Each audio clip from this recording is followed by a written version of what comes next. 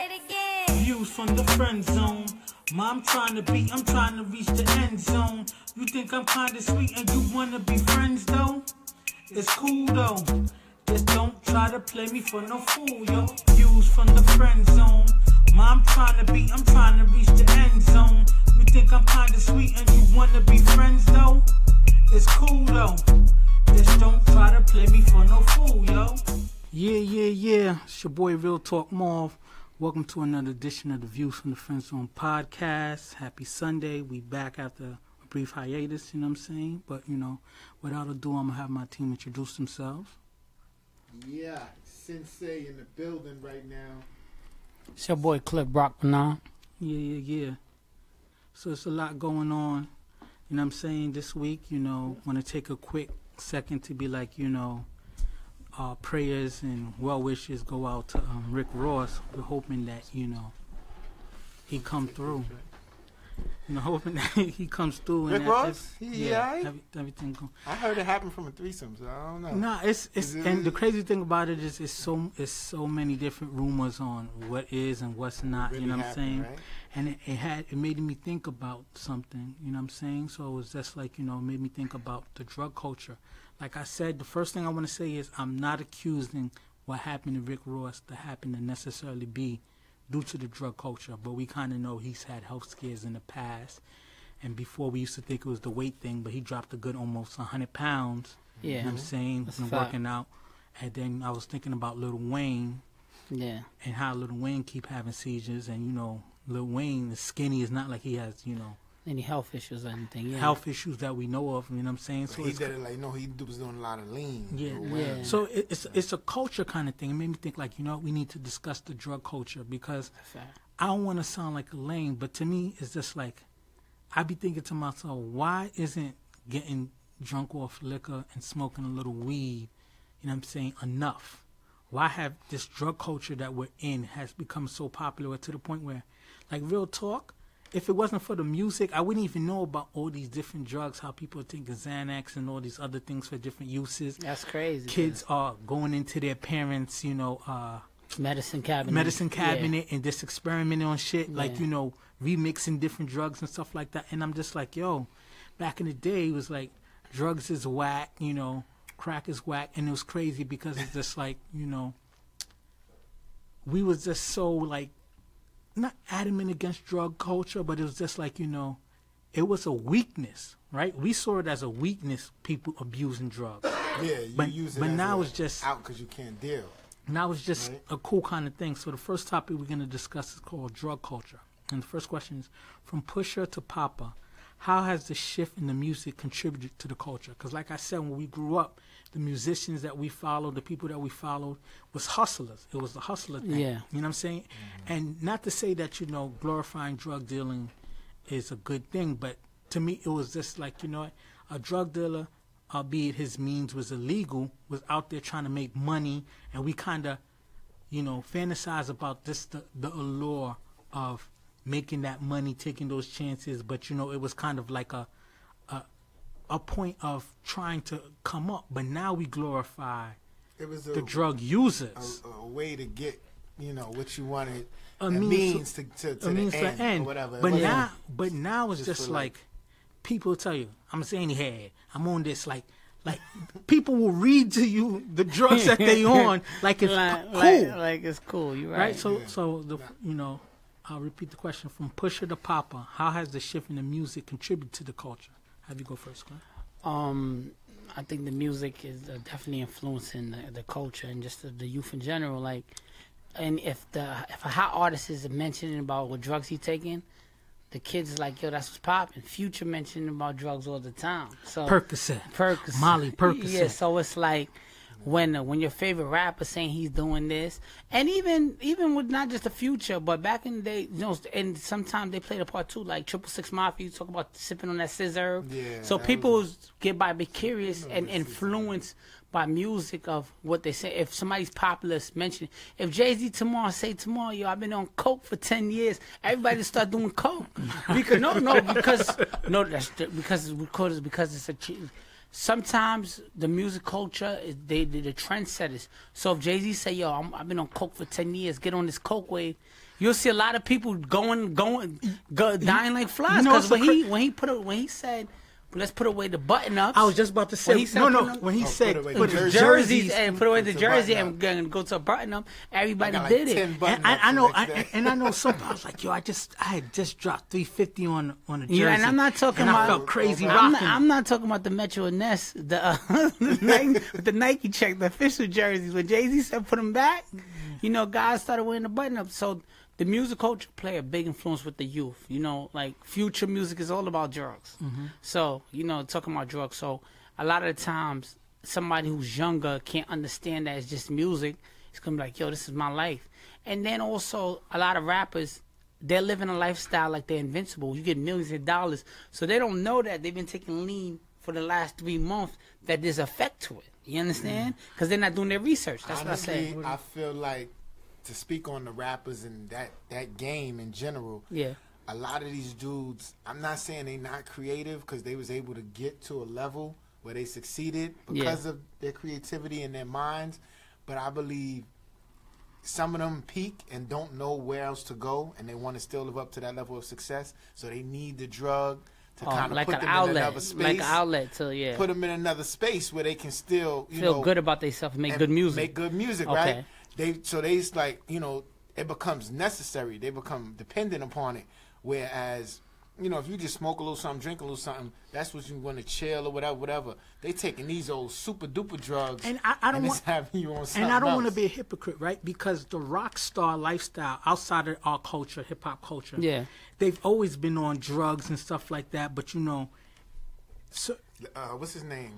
I still can't believe it. The uh, the guitarist who died because he. Uh, Jimi Hendrix. Yeah, Jimi Hendrix. They when he had his uh, in his um, sweatband and whatever, he was like, what he was on? He was on some kind of psychedelic drug. Yeah, they're like the mushrooms and all that. something acid, LSD something like and stuff like that. stuff. Yeah. So it's it's always been in the music. It's just never been as glorified. Like I don't even understand why you would want to like think that is cool. You know what I mean? Like it, it's it's stupid to me. And and I think back to the old. I saw it on Facebook uh, a couple weeks ago. The old '80s commercials, remember with the Ninja Turtles? Don't do drugs, Tommy. Drugs are whack. Yeah, but yeah, the, the to whole crack is whack. Like. Yeah. But to me, it was just like you know, I growing up, I always thought like, yo, if of course smoking weed, drinking alcohol was the cool things. Like if you went to crack, if you went to you know coke and all that other stuff like that, like to me that was a sign of like you being weak. But these people make it seem like, yo, you haven't made it till you start doing these kind of things. You know what I'm saying? And it's just like, you know, when you're watching a Ross or a Wayne having these kind of situations. This year alone, not 2018, but 2017, it was like three rappers that died off of lean. Was it the lean? Lean Yeah, and different lean, drug yeah. overdoses. You know what I'm saying? And it's just like, yo. You used to have to be forced to take medicine when you was a kid. You didn't want to take that stuff. Now they taking it like lean is basically medicine. Yeah. no, it's a mixture of It's a mixture. it's a of mixture it. of cough syrup, Yeah. Sprite. Um, what else is in there? It's a um, it's a couple things because me and my basketball, Rancher me and Jolly Ranchers, me and my basketball team, we looked it up. We did it one day. We missed, we all missed practice the next so day. you tried you tried lean before? in college. We lean we did it one time. It wasn't something. It was one of the yet. things where we was like, "Yo, let's just." We got we was bored one day. We was like, "Let's try it." Yeah. Yo, that joint knocked us out for like ten hours. Yo, we missed practice and everything the next day. So it was like it's crazy. So answer this, and like I said, I know this kind of sound like a square question. Like, why isn't the high you get off of hydro and all this different kind of weed? Why is that not enough? Not everybody's into that. Like you know, you got your downers, you got your uppers, and, and weed is something you smoke. You know what I mean? Yeah. And pe- some people don't like smoke. You know, so Yeah. they might go to edibles. You know, because that's THC too, but it's in a different form, whatever. Um, but these pills, I think these pills, and why so many people becoming addicted to these pills is because they really like take that pain away. You know what I mean? Not just the physical pain, but the pain you be But with life. you you, life know, you ever met? Listen, side note, you ever messed with a chick that had it was on ecstasy before? Oh, don't give me. Yeah, I don't. I've- I've yeah, I've- you I've listen. You listen. one- I went to school where to where sex on ecstasy. Listen, I've been in a school where they there was diversity. I, I I messed with a chick before on ecstasy one time, and it's a whole nother level. So that's why no no seriously, real talk. It's one of them things where you like I never tried it ever day in my life. I'm not into that. I never not smoke weed or nothing. The only thing I might have dabbled in is alcohol here and there through college. But I mess with chicks that was on ecstasy and it's on a whole nother level. I'm not gonna incriminate myself, so but I know, I know what he's saying. yeah, it's on a whole nother level. It's So something that you do, and then you say, "Nah, I ain't messing with that no more." Yeah. that's you become addicted to it. You will become addicted to it, Oh. and that's the thing. I think, me personally, I don't have an addictive personality. Mm-hmm. Like, Yeah. I can try stuff and be like, "Oh, that was amazing," but I ain't doing that no more. Yeah. You know what I mean? Some people they be like, they want it, they chase it. Once they get that feeling, So like, do you think great." that's the thing? Like you know, is that next level high because after a while the weed becomes just so normal for you. You're looking and, for that and next. then and then it's like our culture right now, right? So it's like if you got somebody who who's making millions of dollars talking about yo, I'm I'm on this lean every day. This is what keep, you know what I mean. They, this is what's keeping them afloat. You thinking like you got Someone- talent. Yeah, so the average, that. So the take you. average person when he go in the studio instead of just making his track, he like, yo, make sure you bring the lean man, make sure you bring the weed man. Listen, if you gotta bring the coke man, bring him too, cause they wanna they wanna live that lifestyle like they made it already. But then because sometimes a lot of now I'm, I'm just I'm not just a stereotype on just rap music. Period. A lot of people get writer's block, so they need that next level, and they hear about Ross, they hear about Wayne, they hear French Montana in the studio with the with the lean and all these down south. Like I, I ain't gonna lie, when it came to that lean and all that stuff, down south trend brung it to New York with us because New York we was I never heard New York do really on like lean and all that. So these down south rappers or everybody that's hot, they was on those high end drugs. Now mm-hmm. it's like New Yorkers, New Yorkers is like yo. Mm. Yo, I need that lean. I need this because they're like, yo, they got a sound that we need to follow right now, and So that's, why a lot of them sounds But- with the draws. but- but- it Yo, sounds so you slow truth, because tell of that. truth. But that's why that's why people's doing that. Even right though now. 50 was slinging that effing vodka and whatever, 50's one of the cleanest rappers. Like, he don't smoke or really drink Nah, like that. nah. You know what I'm saying? 'Cause that's he his made like lifestyle. a classic. So you, you don't really need that to get to where you want. On a But side note, I we, I gotta address Fifty Savage Hood with the if he died, he Oh, died. that Drago Drago? post. I love it. that was not necessary. Nah, nah, necessary. that was a sad day it. for being the Queens, Because man. you, I love no, Jamaica but Queens. You gotta understand. He was you bugging, You understand, yo. like your beef. I, you know, what? their Me beef. First of all, we hold didn't hold on, know hold on, hold the extent. It's Hold on. like, Their beef did. It's rap music. Their beef Mike. did go off. Their we beef didn't know did, the extent of Ross. No, but their beef did go off was- of wax. Like, you know, shootouts happen, uh-huh. Fights happen and stuff like that. But my, my dude, like, it's been 10 years. You want to bigger and better things. Like 50, 50 don't even make money off of music no more. Yeah, it's all about his You know what I'm saying? other ventures. And like stuff, you know, yeah. 50 still do music because he has a passion for it. Yeah. But 50 don't make. That's not his bread and butter no more. Yeah. Not He to say that he can't still be in that He's game. He's a cancer like me. He's July 6th. I'm July 1st. If he dies, he dies. That was- I have that was love for that savage. man. That was savage. Like, Yeah, and, and you know, don't get it twisted. You know, we from Southside, so we know 50 Cent, Nah. we know the G Unit Yeah, crew and stuff know like that. but- so I'm definitely not attacking 50. I what is he thought it was supposed to say? Oh, I hope Ross get well. Leave You know it what I'm saying? alone. Nah, leave would that be? Leave it alone, alone. boy. There's dudes. He I- didn't even say. He just put a picture of Ivan Drago. Maybe he just watched. Nah. We all know. Maybe nah, he just watched we all know. How you know? Because it's the face. That that picture he showed. That's what he shots. Drago said. If he dies, he Yo, dies. Sinsay, that was shots fired, bro.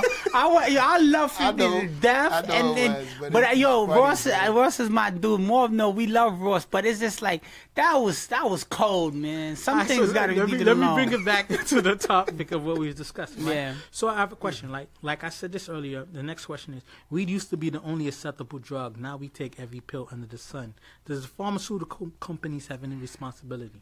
Because another big thing. Hear me out. Another big thing is like you know how we treat pain in real life. We Mm-hmm. treated pain with all of these different, you know, painkillers, oxy, I'm a- oxycodone, Percocet. Um, there's so many others, and then that became readily available and pushed, and then you know dependency started happening, and then when you know it's like, yo, think about it. Now you can move around because if cops catch you with pain meds, and you could be like, yo, I just went to the dentist. I got my tooth pulled. Yeah, yeah. I was in a car accident. I had stuff like that. Like this is legal, but this gets you just as high as any of the other controlled substances. That's a fact. I'm so a- do you think the pharmaceutical companies have any responsibility for that? because you know uh, now New New York State um, is suing certain pharmaceutical companies because of the lax controls they have in the distribution of these controlled substances. So I'm gonna let you answer that Let me first. start with it. Yeah, Yo, go ahead. th- they don't have no responsibility to us or anybody else. Their their responsibility as pharmaceutical companies is to make money.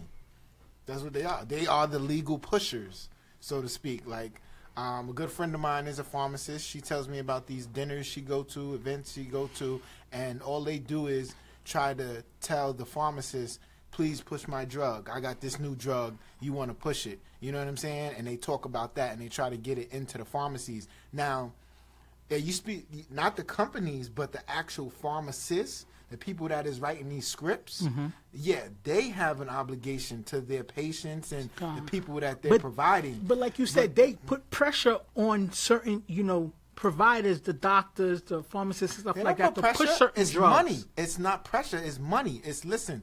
I will, you know, cut you a profit. She told me a story about how some company was ever was, I think it's like sixty dollars a pill for some Viagra or whatever. Um, or no, that's how much she could sell it for. But they was gonna sell it to her for like five dollars a pill. Oh, wow. Something cheap like that. Yeah. So you it's like, and we'll give you this much of the profit. You know what I mean? So it's just a dirty business. Like people think, oh, because the violence involved in drug dealing in the streets, people was like, oh, I'm so against it, or whatever. But the the the the stuff that goes on in the legal drug world is either as worse, or I mean, as bad or worse than what goes on in illegal drugs. Tell you the truth. So what do you think? You don't think the pharmaceutical companies have any responsibility for what's going on? I don't think the pharmaceutical company has any responsibility. Like he said, um, to piggyback what he said, I, I think what he's saying is 100% right. But what another thing is when you are taking these drugs, these drugs have side effects, right? So I had major surgery. I don't want to put out what I had. I had major surgery where, it, you know, if I didn't have the surgery, I could have died, right? Mm-hmm. So I was on OxyContin. And I remember when being on OxyContin, like, when I, when I didn't get it on time, I was ready to kill a whole nursing staff because that's how serious. I, after four Is days, that much pain?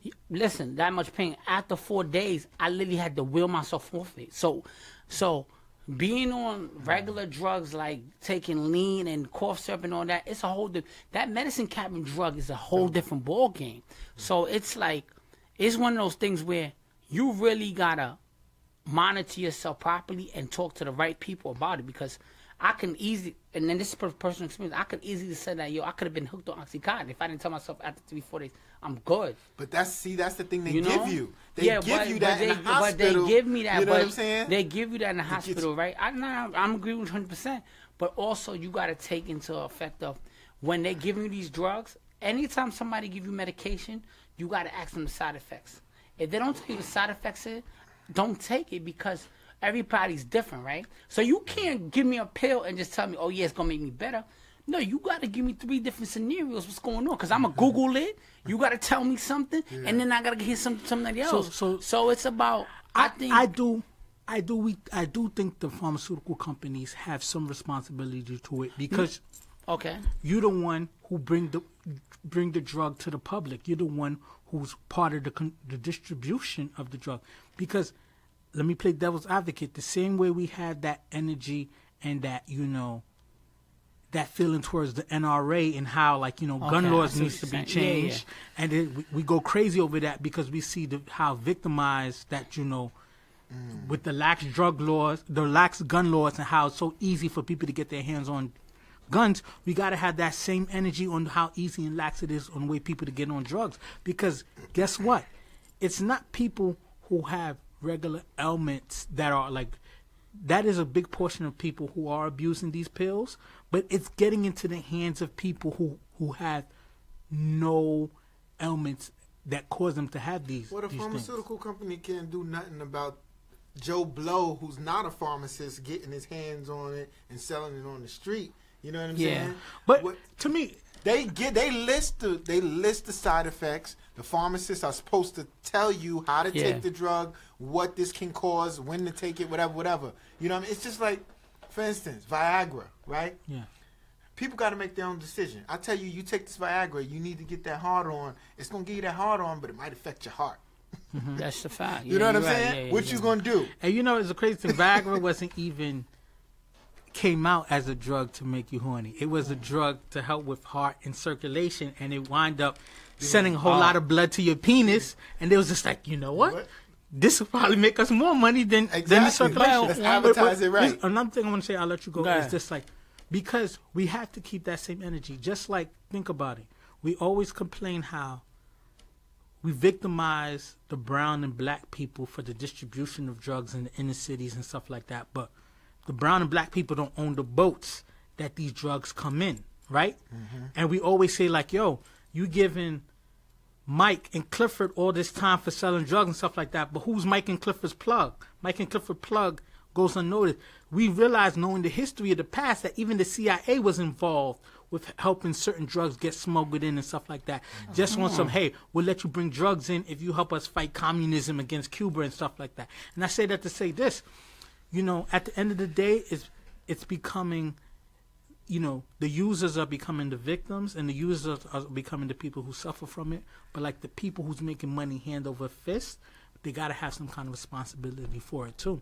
We can't just sit there and say, "Oh, people know what they're doing" and stuff No, like that. no. Because, to be honest with you, yes, we all we all have a say on what we put into our body. Mm-hmm. Fact. But at the same time, we also we're, we're under laws and we're under government for a reason.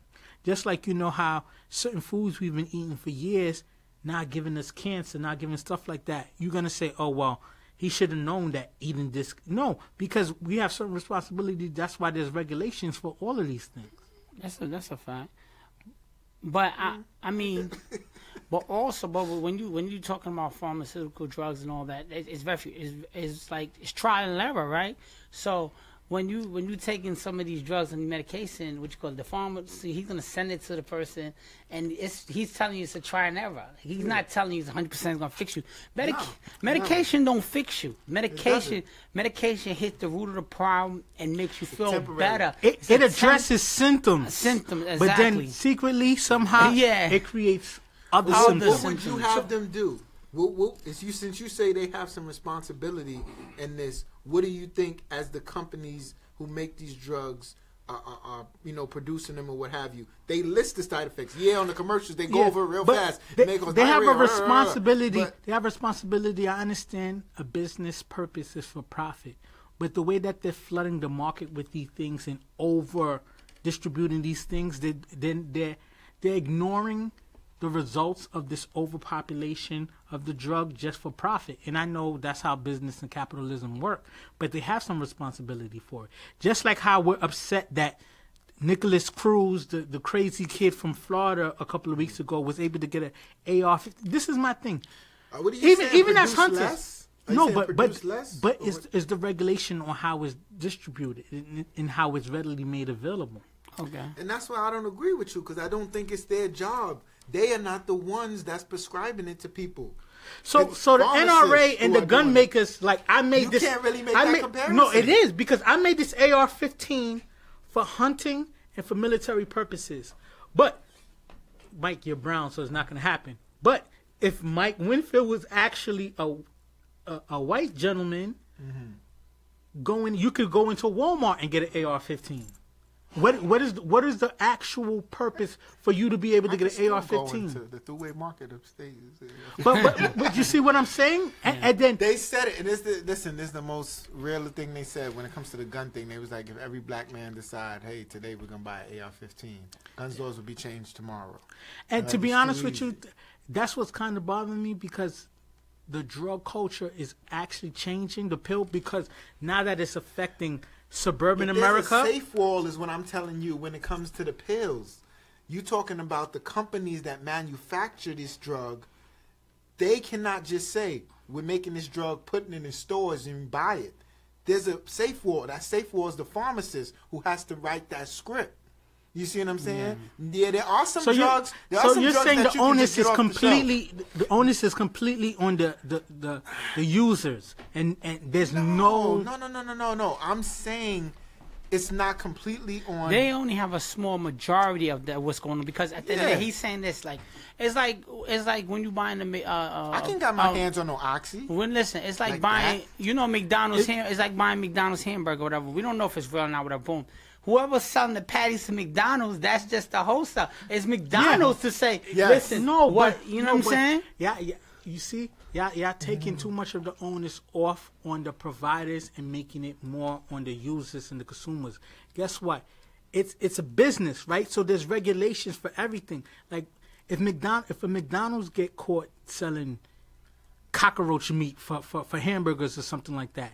They're gonna get in trouble because they have to have inspections. They have to have regulations. You gotta understand, these pharmaceutical companies are losing lawsuits every day. But the fact that you know they have so much powerful people in company, they get hit with ten million dollar fines, and they're like, "Well, we made three billion dollars off of the drug last year, so that ten million dollar fine will eat that. We're not even gonna fight that."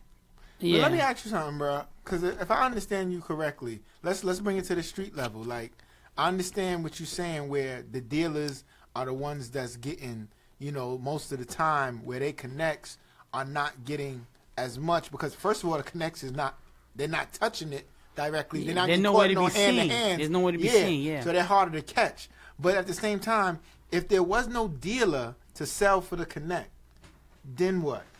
And that's what I'm telling you. The pharmacist who writes the scripts to give to the customer, the patient, or whatever, if they're if they're not there, then I would understand your point better and be like, yo, the pharmaceutical company is coming out with all these drugs and they just throwing them in the streets. You can go in Rite Aid and get, you know, a, a, a Vicodin or Oxy. Yeah. You know what I'm saying? But, But that's not the case. it- but this is it- stuff you it- gotta this be is this is this is a standard process. It's not like it's not like they're giving it to the farm uh, pharmacist and like yo just sit there.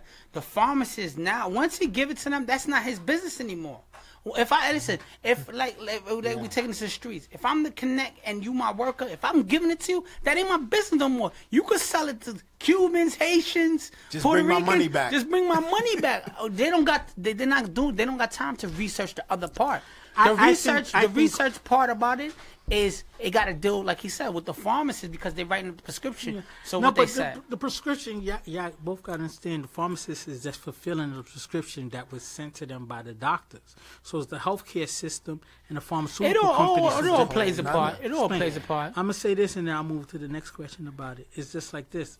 It's like you know, the U.S. government go harder to go find your connect than it does to, to, to answer to the pharmaceutical companies who who have lobbyists who's paying them and, and who's in their pocket. It's a fact. So Why not, the not NRA is so powerful when it comes because to they got lobbyists in people's pockets. Exactly. Now, now that we have, you know, it's it's affecting suburban America, where it's a lot of Johnnies and Timmys who are now strung out on these pills and stuff like that. Now they're saying it's an epidemic.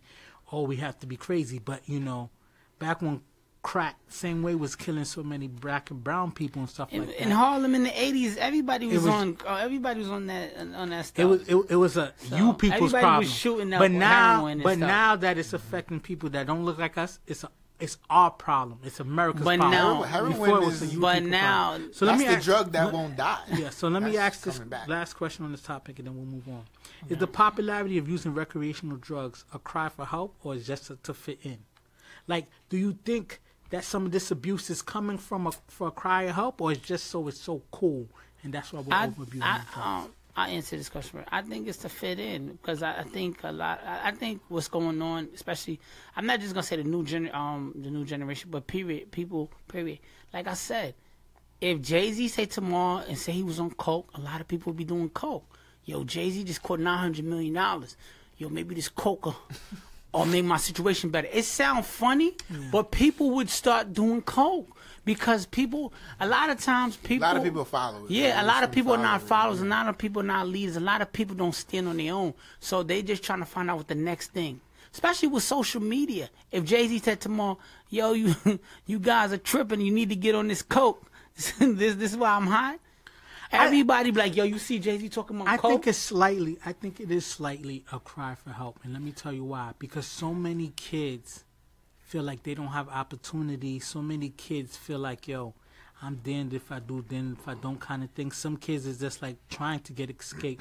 I'm not saying, don't get it twisted. I'm not saying I'm giving them a pass for it, but some of these kids are popping these pills and stuff like that Right. because they have so limited opportunities, so limited examples. They're trying to just get. It's not Get the out of kids this. though, bro. It's not the kids. Let me tell you, and I'm this is it. I'm gonna keep it as real as I can. Yo, life is hard. It life is. is. hard. Yeah, it so is. we all not all, but a lot of us need to medicate just to be able to get through a day. Whether you come home and gotta have a drink, or you the biggest drug I feel, the thing that's killing the most people is legal. You know what that is? What? That's nicotine. That's the cigarettes. Yeah. You know what I'm saying? The cigarettes is killing people every day. Mm-hmm. Long term, it you is, can buy yeah. cigarettes like And it's you know what's nothing. selfish and about just their the way of nicotine thing? medicating. Like I'll smoke. It's me with the problem. But I'm killing Cliff because 'Cause I'm Cliff's around me. it. I'm Yeah. killing Wifey because Wifey's around me. said I'm you killing can't kids. smoke in a bar and stuff no more. Secondhand they realize smoke, that. They know that that stuff is no good for you, and that's Yeah. probably just as bad as all the drugs that we're talking about, right? But it's legal. That's a fact. It's legal, just like alcohol. I mean, weed is legal. but- I mean, illegal still in most places. In most places, because yeah. they say, oh, the effects it has, and blah blah blah blah. Alcohol has killed way more people than weed. Yeah. Drunk driving and this, Yeah, and the third. yeah. But it's legal. Why? Because the profit. And you know what's the crazy thing is that you money. you keep making this example and it's so true. I think it's just like the reason why I I brought the musicians into the the conversation because the musicians are the influencers, right? Yeah, yeah. Like you said, there's been so many times that Jay Z had said something and, And it, it people changed, follow. changed the culture. Changed the game. like think about it. Ghostface had had um, said this too. Ghostface said he had a mean track with auto tune on it, but when Jay Z dropped the track "Death of Auto Tune," he's just like he, he's like, "Damn, I had to put money in that track. We was about to promote it, and I had to kill the track because you know Jay Z." So I think you know obviously it's T gonna be Pain went away. yeah. But T Pain could sing without it though. blew- But that's a whole went- other. he went like- but going like but the wind. now I think Yeah. I now I think and you know what it's it's tough to say that it's their responsibility. But now I think we gotta get the people whose influence us to be like, yo, this drug shit. I mean, like this ODing pills, crazy shit like that is is not cool. Why is it so cool for people? The, sh- the shit is is It- it's kind of know, but uh, listen, everybody who everybody who's talking about the the, the heavy drug, dealer, they're successful. So if somebody's talking about they're successful, it's hard to be somebody like, yo, I'm not on it. I'm not gonna do it. So the next expiring rapper, he like, yo, Lil Wayne was doing lean for years, and he this is what he got. He made his best music. Everybody know, and this is this is this is crazy. I'm saying that, but everybody know, Lil Wayne is best when he's on drugs. Music wise, I don't know. no, I'm. Te- You is a said you saying a a shocker? I, I can't confirm I'm confirm or telling deny. you facts. You listen I'm to telling this track, no, because no, Lil Wayne because is sober. This the is best, a whack No, track. no, the I best, don't no, like it. the best Little Wayne to me was Carter Two Little Wayne, mm. and that was before we knew how popular No, lean let me and tell shit you. like let that was. something. Carter Three, Listen, Lil and Wayne. Listen, is listen, when he started listen, to go listen, down. That's a I like fact. Carter Three. Little Wayne, Little Wayne, when he's when he when he was on, on his drugs, is on another level. I'm telling you. I'm I'm bringing notice to that. When he's not on it, the music is okay. The music when he's on drugs is on another level. Some people get better influenced by it. I'm I don't not. know. I'm Well, not. I saying- just think we need to make- Eminem went through his whole thing on the tracks, through his albums. What is it was one of them Eminem on drugs is a bad You know what I'm man, though. Eminem on drugs. Eminem Yes. clean. I'm not really feeling uh, Eminem, Eminem clean. on clean is like, yo, bro, maybe you should try something. Because you know what it is? It's it's it's, it's about you know David Ruffin from the Temptations. He made some of his best music. My man- David Ruffin. Let's move. Let's move on to another topic. nah, but right? you know it's, it's following. And this topic, right, is fixing relationships instead of enjoying them. I was talking to my homegirl, Cheryl, Cause uh, your cousin, and then um, friends to the show. yeah, and then I was saying to her like, yo, so many people in relationships, we spend times or invest so much time and energy in fixing people that we wind up spending more time trying to fix the person than enjoying the relationship that we're in. Than than building with that person. We spend so much time trying to like, yo, and, and I know a lot of women can relate. It's just like, yo, if you're trying to change this man from being a dog to what's name, and you spend all this energy and like, yo, you'll spend years in trying to break him out of this habit, and then sometimes the relationships don't work, or sometimes it's just like, yo, we've been in a relationship for four years, and three of those years I've been trying to get you to stop cheating. You know what I'm saying? And life is so short, you can't get that time back. So the question is, you know, why do we spend so much? So the topic is fixing relationships instead of enjoying them, and the sub question is, why do we spend so much time trying to fix people we with instead of leaving the relationship? Because I know, like, the the girl I was chasing after before my wife, you know what I'm saying, and, and it's no disrespect. I didn't think she was bad like that. I just had a connection with her.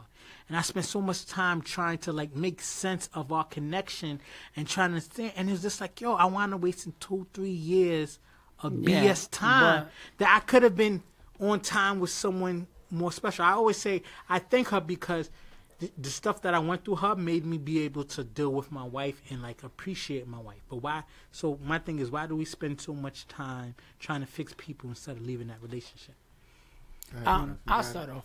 I think a lot of times we spend um more time fixing a relationship instead of leaving because let's let's talk about it, right? We all in our thirties right here. It's hard. Like if me, God forbid, me me and you, big bro, we both marry. Mm-hmm. God forbid we get divorced from our right right now.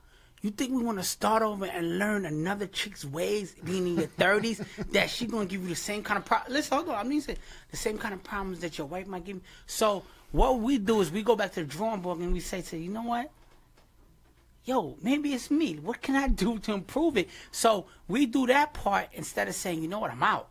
Because somebody somebody a little older, I don't got time. I'm I'm working crazy hours. I don't got time to date. I don't I'm not out Can't there no. I can't go that, to the yeah. club. I can't I can't go to this next speed day. I can't do that. So I don't got the time. So I say, you know what? This is what's going on. Either we're gonna go to counseling. I'm gonna do whatever it takes because starting over is so hard. And, and I want to I want to clarify. There's a difference between working out problems, right? Because we all have, we always have problem relationships because we're different mm-hmm. people. A man is different, a woman is different, stuff like that. But you know, sometimes it's just like yo, we'll spend a lot of times trying to like, this person doesn't want to work. This person is a, a crazy cheater. This person, that's like crazy baggage that this person it's it's within themselves. It's not within our relationship. It's within the core of that person. But that's that a we'll bad spend example. trying- You start with they don't want to work. we No, just, but- we just off to a bad Yeah, start. but yeah. that's what I'm saying. Don't get it twisted, right? Nah. Because we we have issues in relationships, and don't get it twisted. You have to work the relationship. I've been Yeah. in April. I'm gonna be married to my wife in nine years. We were been dating for ten years, right? Thank you. And my thing is, we did spend a lot of years working on learning each other ways. So I I don't get I'm not I'm not combating you on learning people's ways and stuff like that. But when you just know a person doesn't even take enough consideration on working on themselves because you are have been their crutch. So just that's like yo So you saying Yo, why? listen. Why do we spend so much time trying to make a fix that fix person. That person? Forget our because it's difference between fixing our relationship. Our relationship could be messed up because our our love languages are off. We don't know how to communicate with each other. I'm talking about like a person who just d- decided to not work on themselves. Why would we invest that time and that energy? Let me tell you fix Because them? stu- No, Let, let let him me go. get Go ahead, I'm let me just tell you what it is and I, how I see it. And, and Okay. I've had a lot of experience, Yeah. um, many failures in uh, now you had many good ones too. I have good ones, but ultimately it's many failures, and Yeah. and I learned from all of them, and I realized I learned more about myself, and it's like what I try to do is I try to mold them to me. You see what I'm saying? And it's like you got to accept somebody for who they are, what they're about. You know, whatever connected you to them, attracted you to them, and made you want to get further along with them. But at the same time, you want somebody who fits you best. Yeah. So what happens is if you know yourself that well, you're trying to say, well, I, I- you know, I want you to understand me a little better, and I want you to appreciate me in this way. And in doing so, you kind of, it seems like you're trying to change them, mm-hmm. but it's like that's not what you're doing. You're just trying to find a way where y'all can connect more. Yeah. Now, that example about some things you just can't accept. You mm-hmm. know what I'm saying? That's the thing. And I think if you know your point of, well, I'm gonna try to work with you and we can build something together. But these things I won't accept. Mm-hmm. Most of the time with women is I won't accept him cheating. You know, he can't be out there cheating and mm-hmm. whatever. But See, it- once you I- I- get there, you you can do something. That's Yeah. what it is. It's not about changing. It's about let's let's grow together. I gotta combat something you said, and it's just like you know, being a man in my thirties. God forbid if I don't. Yeah. Me and my wife. We don't all work in our out. 30s no, about it, but I'm saying if me and my wife don't work out and stuff like that. To me, to be honest with you, where I'm at in life, I've learned myself more. I know. I know what makes more of work. I know what kind of time more of is on now. That to me, I would spend less time. Like to me, I was more patient in my 20s because I was still trying to figure out who I was. Mm-hmm. Now in my 30s, I don't got that kind of time. So it's just like you show me signs that you're not with the program or we don't got a vision together, it'd be easier for me to drop you because I know other people in our 30s, other people in our Yeah. 30s who's on that time of trying to build and stuff like that. They're not wasting that kind of time. They're not playing that kind of games. You could go ahead and But like like I said, right? A lot of times when you fixing relationships and you got stuff invested, so you might have nine, ten years with a person. It ain't. It's not. It, it's easier said than done, right? You could say that's the thing with females sometimes. Oh, I always see a females tell, "Oh, if he cheated, I'm out." You not out, ma. You invested ten years of your life with this man, cause you now you got to figure out the next Joe Blow. He might do the same thing. Or if you got so now, and then now you got got kids, and so now, now you got to listen. Starting over in in in, in your thirties, it's so hard. Even as a Mm-hmm. man and a woman, I'm not just speaking from the man because it's a it's a lot of research you got to find out. So a lot of times we try to fix the problem, even if the problem is kind of bad. It's like a woman who. A, a woman who's getting uh, an abusive relationship, she might stay with him because she know he's financially invested. She's been with so many bums throughout the years, and now she got a good man who's making millions of dollars. She stays with him to say, kicking her ass. he, he listen. A lot of times it happens because she's like, you know, he's gonna change eventually. She thinks it's her. Yeah, no, she don't understand because she doesn't want to start over. But then also they can make bad decisions because when you getting older, you don't want to spend as much time learning That's a somebody. fact, that's a fact. Instead, you just more jumping and assuming that oh, this is good. Let me keep it 100. I'm going to say something that y'all probably going to be like, no, that's not true. And then you got to think about it. There's no one in any relationship that you know of that cheating, just cheating itself, breaks up that relationship. Men and women. It's cheating alone doesn't break up relationships. Because you want to know why? If you were happy, I mean happy out your ass in la la land, and then you find out that the person cheated, but you, you never was made to feel crazy, you was never made to feel suspect and stuff like that, it hurt you. You like, damn, I never would have thought that stuff like that. And then you start thinking and stuff like that, and then you like, you know what? That's how certain people work it out. This, even as a man, you, you thinking to yourself like, like, boom, I found out my wife is cheating. I'm gonna leave, and it's not because of that one incident of cheating, because that hurts my ego. It's the fact that you know what, all the times that I was made to feel suspect, all the times I wasn't feeling right, that's what makes you leave. That one cheating incident doesn't change the world if, if the person Yeah, you secures right. you. It's, it's just the beginning it's, of the end, it's the beginning. It's the beginning that, of the end. That's the, that when you find out the cheating part might take the cap off the bottle. You understand? Yeah, but it it's was something it's building up that. already it's, there. It's, it's, a- it's the the cheating part. What leads to is other things that you was already frustrated about. So now that you you got the outlet to say, "Oh, I'm I'm I'm out of here," you're gonna take it. But trust me, starting over, I'm not gonna lie. I'm I've been married for four years. I've been together with my wife for ten years. We met together as basically kids. You know what I'm saying? Mm-hmm. Now we got our own kid. I, it's it's so hard because I'm like, I'm not the same person ten years ago because I have more patience. I respect her more. You know, and and then certain things I gotta respect her feelings. She and vice versa, and I gotta talk to her because it's a different program now. We got this little one. I can't That's just be like, key. yo, I'm you out. just said talk to him. I gotta Like, the- talk the, to only her. way you can get past something like, say, for instance, a cheating, and, and, and that would normally break up a relationship, even though it's more to it. Um, you got to communicate. You gotta You have communicate. to You gotta communicate after that, and, and it can be built back together. That's the only way the trust is going to be That's a reestablished. fact. That's the Yeah. only way. You know what I'm saying? So if y'all, if she's so upset or he's so upset, whatever, afterward of the cheating that y'all not communicating, Yeah. and talking to each other, then you just might as well be done with it. Mm-hmm. But So let me happened. let me Go ahead. ask this because we coming short on time. Have you ever been holding on to a damaged person? Like I said, I, I, I wasted so much time, and I'm not gonna say that the girl was damaged, right? I just we our situation wasn't a cool situation. We didn't have good communication, and in my head, she had shared some some something to me about what happened to her when she was younger, and I wanted to protect her so mm. badly that I ignored bullshit because I'm just like, yo, there's something wrong with her. I need to hmm. protect her, so I kind of rolled on. And now I look at myself like, yo, you were such a clown. Like to me, I don't got that kind of time. So obviously, with my wife, I built something over ten years. It's something Yeah. different. Yeah. But if I'm just dating someone and then they're doing bullshit, and I'm just like, yo, I value myself and my time because to me, I'm racing now. Now that money's not my passion anymore, success and legacy and, and, and, and leaving a mark is my passion. So it takes time to get to those things. You know what I'm saying? Yeah. Because money, you can make bag. You can have a year where you made three million, and then you can have a year where you didn't work, Make nothing, but you yeah. still good either way, right? Because of money comes in, money goes. goes. Yeah. But that passion, that legacy is something that you chase that you have to continue to build on. So have you ever spent time holding on to a damaged person?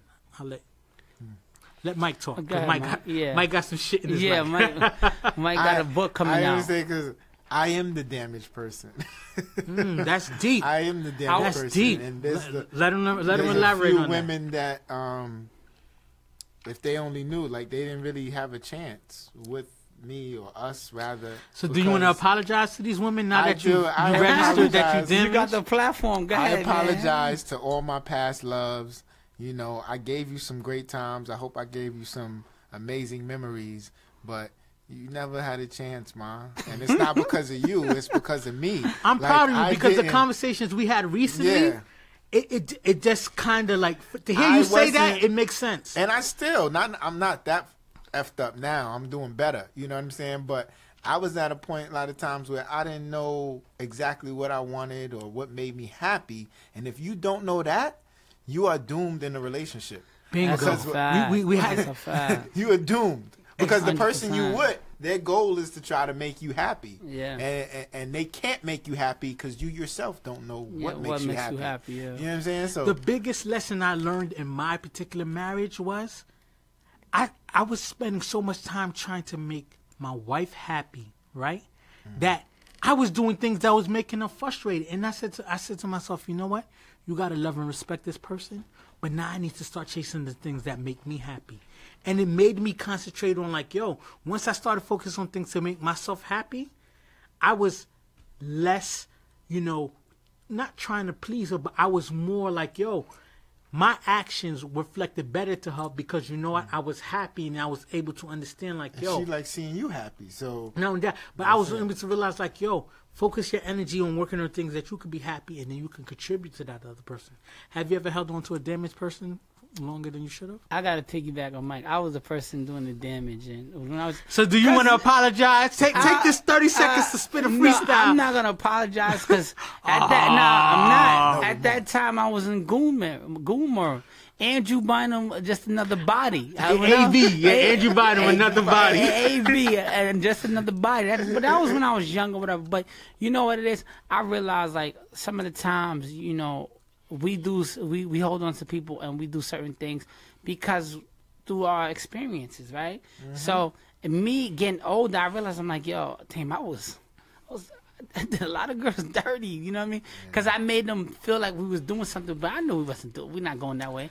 I even had like in the past, I even had chicks tell me like, "Yo, we could do this, we could do this." When we, I'm like, ain't that the most awkward Ma, feeling? like, Ma, when we- you like, yo, Ma, Ma. I'm about to cut you Yo, in a little yo, bit, and you up there planning the rest you, of yo, you on a six month contract? Yeah. You know what I mean? You You about to Ten expire. days. You on a You know what? 10 I days. want to on a take. I want to take a time out to apologize to myself, right? Because I want to. You're like, yo, Marv, You you, played to your no, you played yourself, spending so much time and energy on people who wasn't worth it.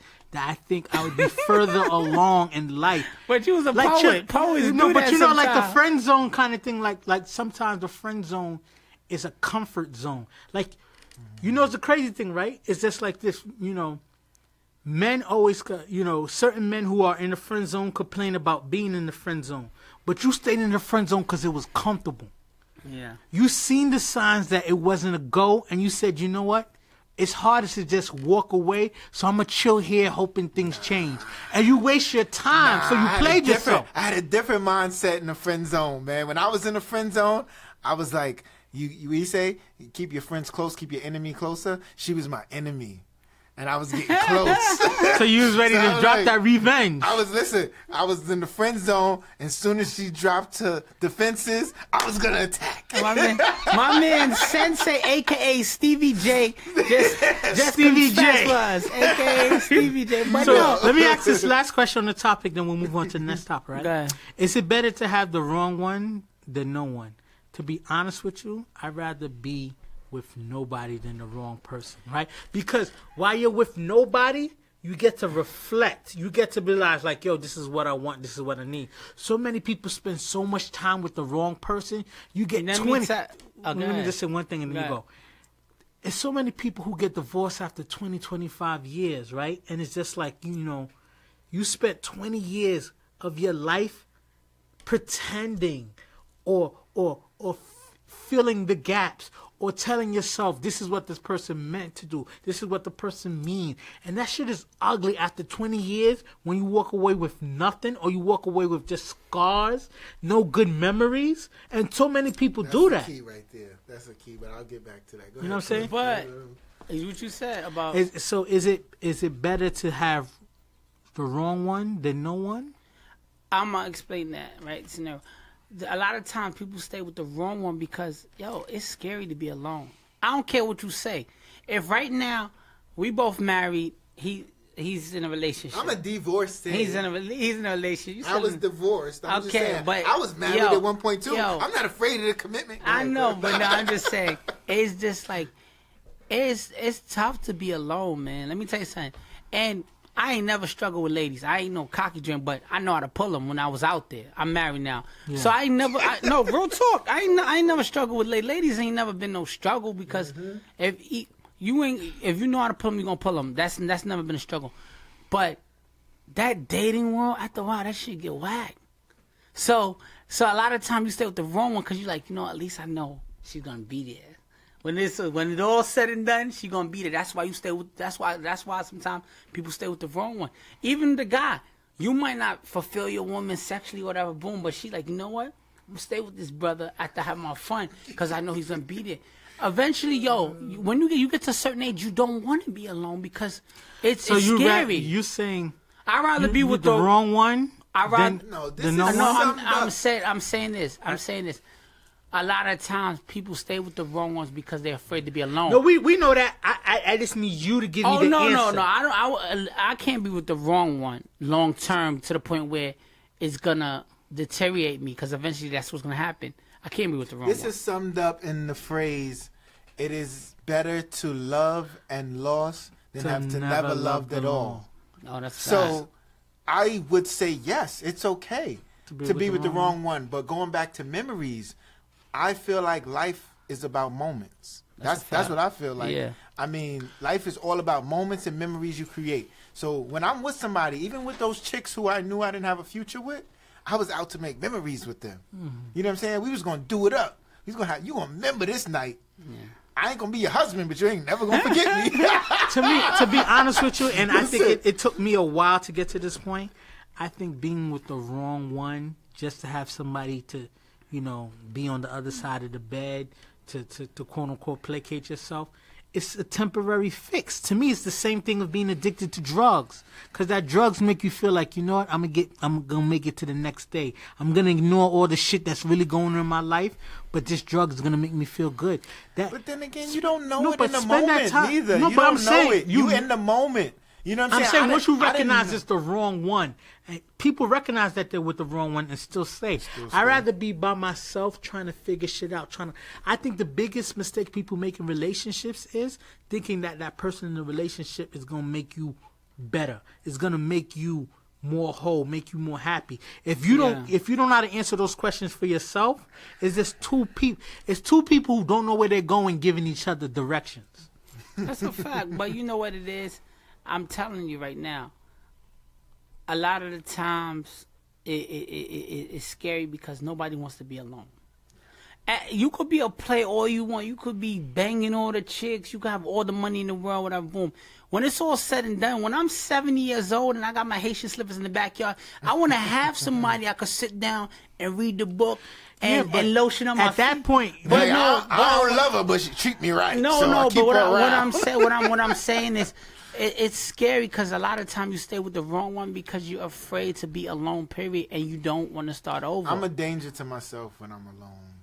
I don't know.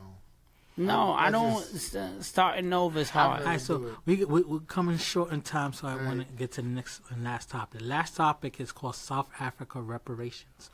So recently, South Africa is doing a thing where they're going to white farmers and certain settlers and be like, listen, the way I got this land was illegal. Illegal. So now it's time for you to bounce. Give it up. We're not giving you no money for this land because you, didn't pay no go, money colonizer. colonizer. it's not your time.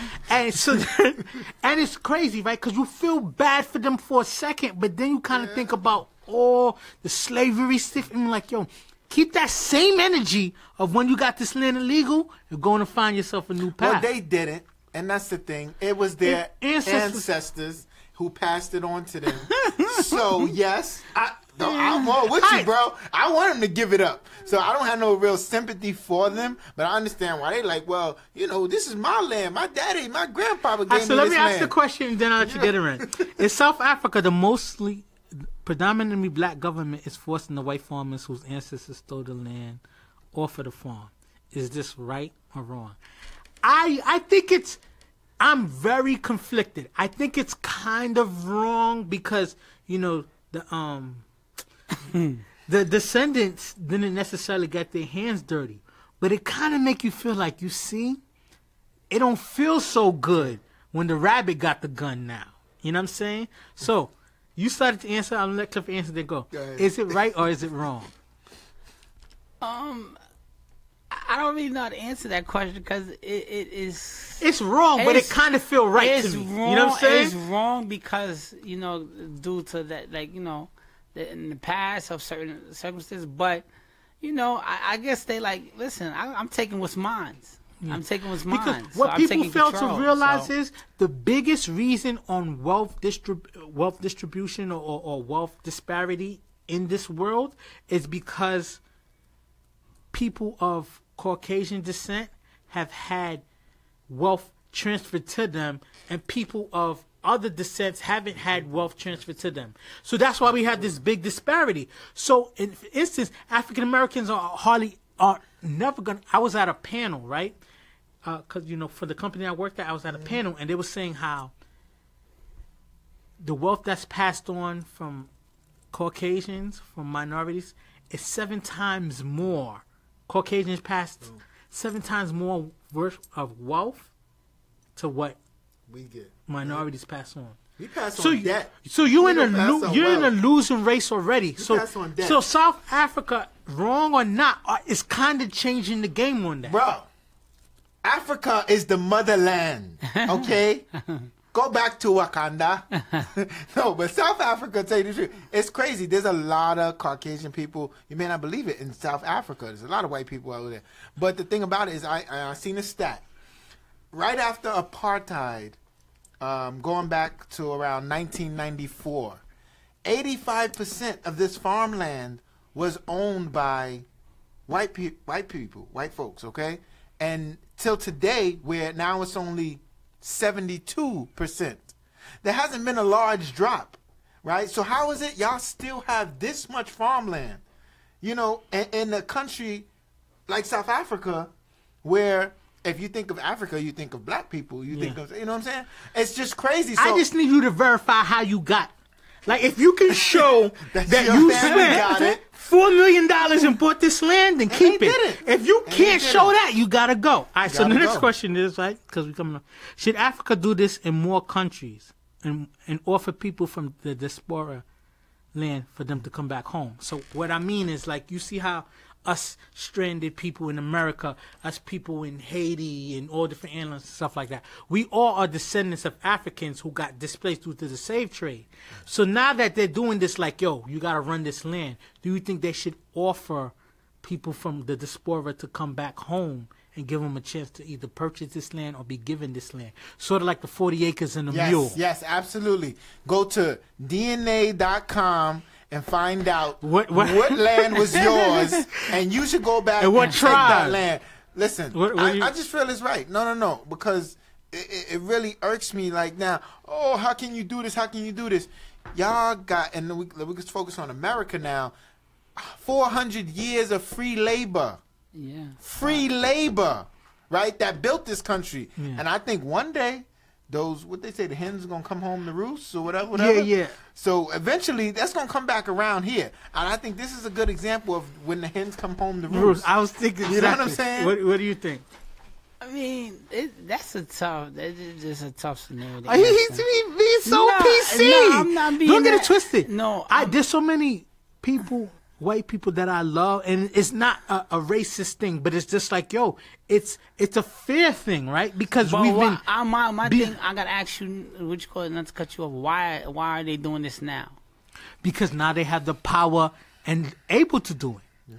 You you Okay. think you think a lot of people would Eventually you accept slavery if they you know what I'm saying? So Eventually Okay, no, I just no, I just the wanted to see why So now? the last thing I'm gonna say, Hmm. And then we're gonna we're gonna end the show is: Are these white farmers victim, or is this kind of like karma to the world? You kind of said that. Oh, it's, the def- it's, coming it's to the hen. definitely it's definitely karma. It's definitely karma. It's like it's basically people standing up for saying, "Listen, I'm standing up for what's right to to me, and I'm coming for it. If you don't got paperwork for it, you got to give me back what's mine." The fact That's that it. you were able to just flow and free and succeed Yeah. in the land of dark people Mm-hmm. so comfortably. I can't go to name the whitest place ever or Russia Dutch, or uh. Switzerland, Yeah, I can't go there Denmark. and be comfortable and succeed and feel like this is no. Yeah. But you were able to go to the motherland and we accepted you because we we are the most accepting and loving people, and that's part of our I, problem. I, I just want those those who You know? feel so crazy about the situation. Imagine me going to Russia and be like, "Yo, this is me right now." My head would get cut off within the first five minutes that I'm there, Yep. and, and that's been the history of what's been going down. We are so accepting. I do feel bad for the people Yeah, you hands feel- aren't bloody, who, who this happening to. give up that farm now. But at least you're able to leave with your life and Yeah. figure it out. life, Just like how we've been having to figure it out for the last two, three, four hundred years. Of course, it's a fact. All right, so that's the end of another fun episode, guys. I'm so appreciative of you guys doing your thing. Cliff, you want to give our shout out before we head out? Um, I just want to shout out my family and friends, and also I want to say just keep working hard because handouts will not get you nowhere, and you know keep positive people around you because when you give that negative energy, you're gonna start acting that way, and then good things don't happen to you. So if you can help, help somebody.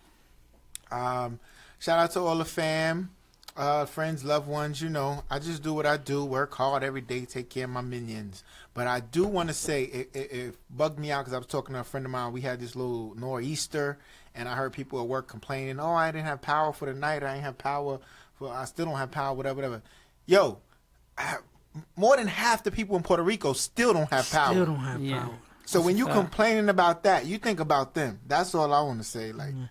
I just want to say, like you know, Black History Month is over, but it still does. It still doesn't give you an excuse to stop learning. I want you to keep learning, keep trying to build, support people that you can, and fact. don't be driven by envy or driven by revenge. Driven, be chase your legacy because that lasts much longer.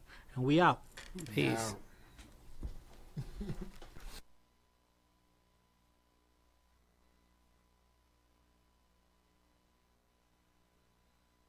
It's cool though. Just don't try to play me for no fool, yo. Views from the friend zone. Mom trying to be, I'm trying to reach the end zone. You think I'm kinda sweet and you wanna be friends though? It's cool though. Just don't try to play me for no fool, yo.